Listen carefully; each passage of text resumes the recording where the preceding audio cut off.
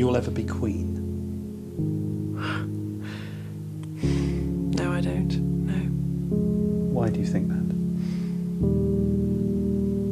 I'd like to be a queen of people's hearts, in people's hearts. But I don't see myself being queen of this country. I don't think many people would want me to be queen. Actually, when I say many people, I mean the establishment that I'm married into, because they've decided that I'm a non starter. Why do you think they've decided that? Because I do things differently, because I don't go by a rule book, because I lead from the heart, not the head. And albeit that's got me into trouble in my work, I understand that. But someone's got to go out there and love people and show it.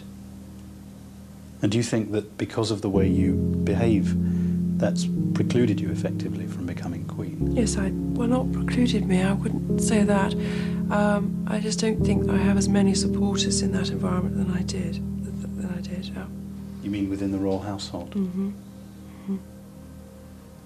They see me as a, a threat of some kind, and I'm here to do good. Not a dis- I'm not a destructive person. Why do they see you as a threat? I think every strong woman in history has had to walk down a similar path, and I think it's the strength that causes the confusion and the fear. Why is she strong? Where does she get it from? Why do the public still support her? A great many people there.